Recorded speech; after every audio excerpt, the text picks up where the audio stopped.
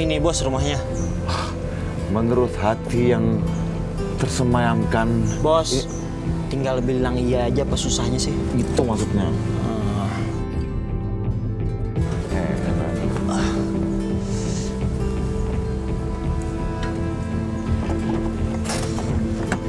Besar juga rumahnya ya.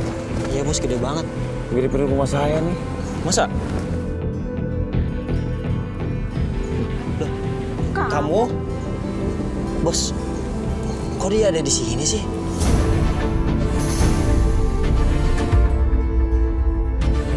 Eh, eh, eh. Justru harusnya aku yang nanya. Kamu ngapain di sini? Oh, kamu mau jadi bodyguard? Mana bisa. Jaga diri sendiri aja nggak bisa, apalagi jaga orang lain.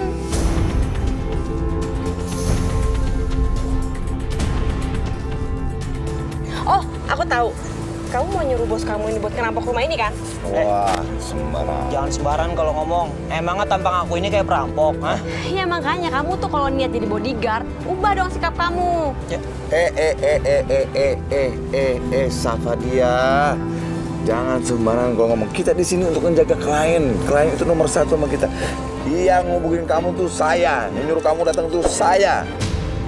Jadi kalau kamu mau ikut di sini harus ikutin peraturan saya kayak main catur. Semua sesuai dengan aturan saya. Kalau enggak, pulang. emangnya nggak ada dokter lain apa selain dia? Dia ini nggak bisa ngapa-ngapain bos kalau lagi trauma.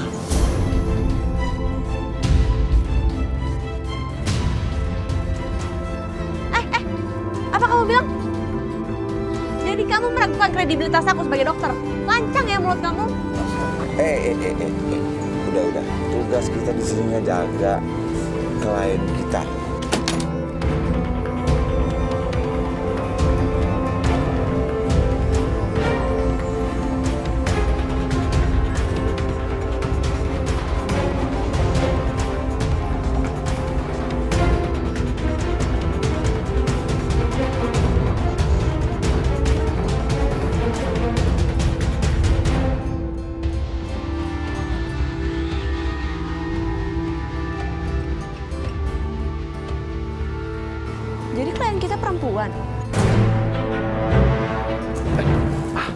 Mbak, sebenarnya kami datang ini untuk menjaga Mbak.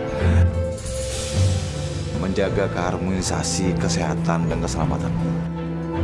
Jadi kalau Mbak, aduh.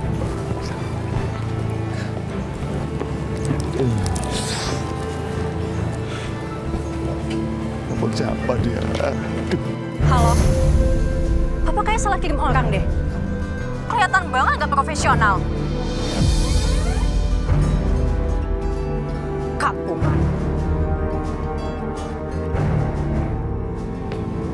Eh, Mbak, Mbak. Eh, Mbak. Aduh, Mbak.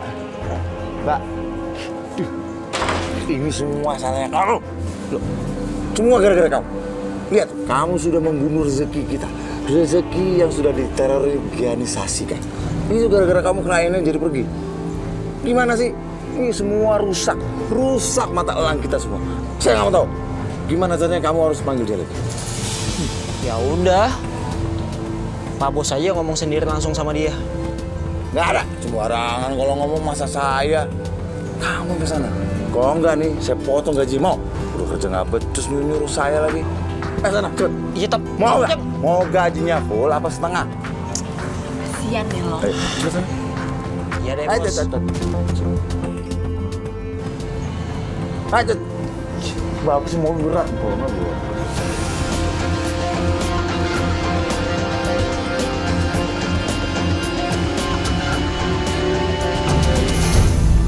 Ternyata Dinda merasa nggak yakin kalau Iqbal itu menjadi pengawalnya.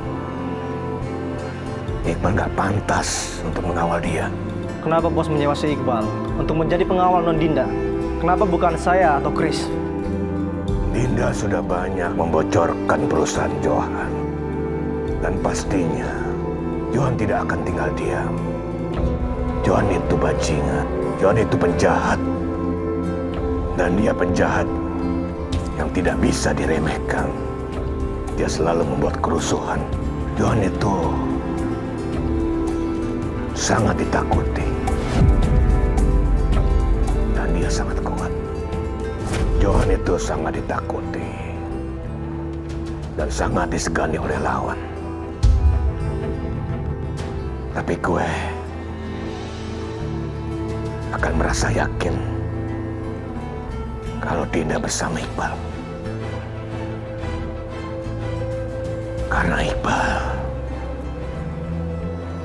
Iqbal menguasai ilmu Pancasona.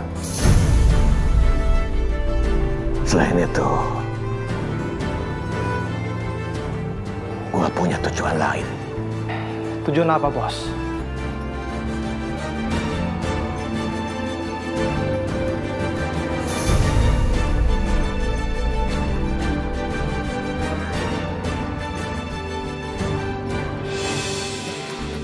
Nah, begitu dong. Jadi jiwa dan raga itu terjaga aman seaman-amannya. Ini butuh kerjasama yang sangat hakiki, yang kuat luar biasa, seperti Hercules.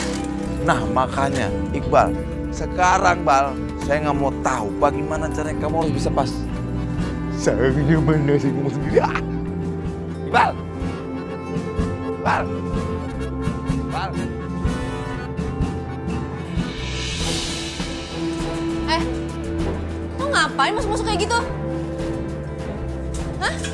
Ngapain buat tangga? Aku minta maaf, aku cuma mau masang CCTV di sini. Masang CCTV? Eh, lo jangan mentang-mentang gue kasih kesempatan jadi bodyguard gue, lo bisa seenak ya kayak gini? Kamu jangan salah paham dulu. Aku ngelakuin ini demi keselamatan kamu. Halah, bilang aja lo sengaja mau ngintipin gue, iya kan? Enggak. Stop! Intinya gue gak mau ada CCTV. Sekarang lo keluar. Lo sekarang keluar. Keluar dari kamar Yo, gue. oke oke oke oke oke. Kalau kamu nggak mau dipasang CCTV, kamu harus pakai ini. Apaan tuh? Kamu tinggal tekan tombol ini, dan aku akan segera datang.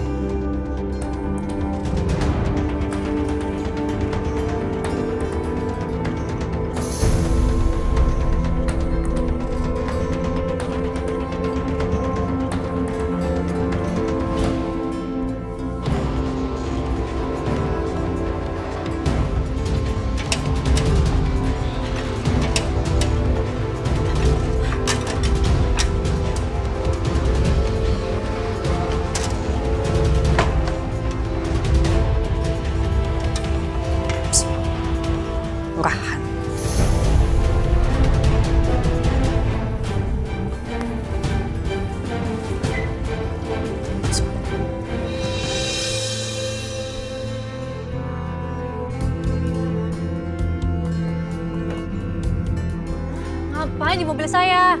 Turun. Udah. Mulai sekarang kamu harus naik mobil yang sama. Apa? Apa? Apa kamu bilang barusan? Enak aja. Lo denger ya? Seharusnya yang ngatur-ngatur di situ gue, bukan lo. Dinda. Tapi kan ini demi keselamatan kamu. Jadi tolong minta kerjasamanya. Tapi gue gak suka ya mobil gue dipakai sama temen lo. Ya ini kan cuma buat mengecoh musuh. Ntar kalau misalkan ada apa-apa siapa yang bertanggung jawab? Aku kan yang harus bertanggung jawab. Jadi aku minta tolong sama kamu. Ikutin kata-kata aku.